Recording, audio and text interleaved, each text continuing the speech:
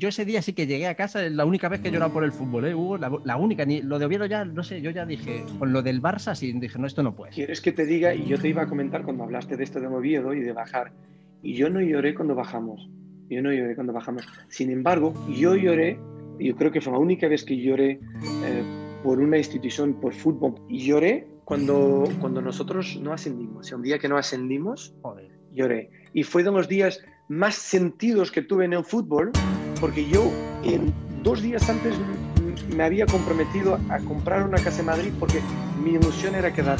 Y en ese día me enteré, o sea, me di cuenta que yo no haber ascendido podría significar que tuviera que marchar de Madrid para que, para que el Atlético de Madrid pudiera hacer una venta de algún jugador que, que podría ser rentable y que no fuera eh, caro de mantener un jugador en segunda división. Eh, ¿Entiendes? En ese día me di cuenta que mi estancia en Madrid podría haber terminado.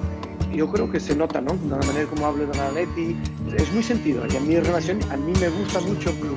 Y entonces, eso, eso me pesó. Y fue el día que lloré.